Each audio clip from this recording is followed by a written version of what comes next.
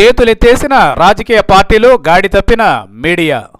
ఆంధ్రప్రదేశ్లో అన్ని రాజకీయ పార్టీలు చేతులెత్తేశాయా బాధ్యతాయుతంగా ప్రవర్తించాల్సిన మీడియా సంస్థలు గాడి తప్పాయా? ఇంత తెలిసినా కూడా ఏం చేయలేని పరిస్థితుల్లో ప్రజలున్నారా? ఇలాగే కొనసాగితే రానున్న రోజుల్లో ఏపీ పరిస్థితి ఏంటి? ఆంధ్రప్రదేశ్లో రాజకీయ పార్టీలు ఉనికి కోసం అధికారం కోసమే అన్నట్లుగా తయారయ్యాయి. ఎన్నికలు సమీపిస్తున్న నేపథ్యంలో ఈ విషయం మరింత తేటతెల్లమవుతోంది. రెండు వేల పద్నాలుగు ఎన్నికల ముందు టీడీపీ ఇచ్చిన అన్లిమిటెడ్ హామీల గురించి అందరికీ తెలిసిందే. అందులో ప్రత్యేక హోదా రైల్వే జోన్ వంటి అనేక ముఖ్యమైన హామీలు ఉన్నాయి.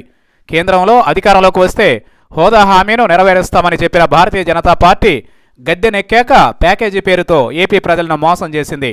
కూటమిగా పోటీ చేసిన టీడీపీ సైతం కేంద్రం కుయుక్తులకు తలొగ్గి ప్యాకేజీకి జై కొట్టింది. మరోవైపు ప్రత్యేక హోదా కోసం ఎన్నో కార్యక్రమాలు నిర్వహించిన వైసీపీ కూడా చివరి రోజుల్లో చేతులెత్తేసిందన్న అపవాదు మూటగట్టుకుంది. అవసరమైతే తమ ఎంపీల చేత రాజీనామా చేయిస్తానని వైఎస్ జగన్ ప్రకటించిన విషయం అందరికీ తెలిసిందే. అయితే ఇటీవల ముగిసిన పార్లమెంటు సమావేశాల్లో అలాంటి పరిస్థితులు ఏమీ కనిపించలేదు.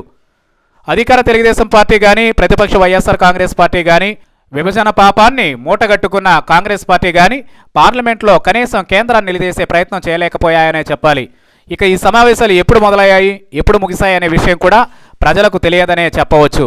ఈ సమావేశంలో ఏపీకి సంబంధించి అనేక బిల్లులు ప్రవేశపెట్టాల్సి ఉంది. ప్రత్యేక హోదాతో పాటు కాపుల రిజర్వేషన్లు వాల్మీకులను ఎస్టీలుగా గుర్తించడం రైల్వే జోన్ కేటాయింపు పోలవరానికి నిధుల కేటాయింపు వంటి అనేక అంశాలు పెండింగ్లోనే ఉండిపోయాయి. ఈ విషయాలపై కేంద్రాన్ని నిలదీయాల్సిన రాజకీయ పార్టీలు మౌనం వహించడంపై అనేక మంది మండిపడుతున్నారు. మరోవైపు ప్రజా సమస్యలపై వార్తలు ప్రసారం చేయాల్సిన మీడియా ఛానల్స్ బాధ్యతారాహిత్యంగా వహిస్తున్నాయనే ఆరోపణలు బలంగా వినిపిస్తున్నాయి.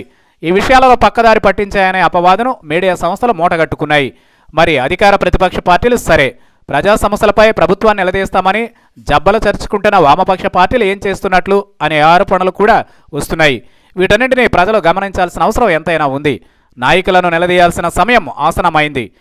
లేని పక్షంలో రాష్ట్ర అభివృద్ధి అనే కళ నిజంగానే కళగానే మిగిలే పరిస్థితి వస్తుంది.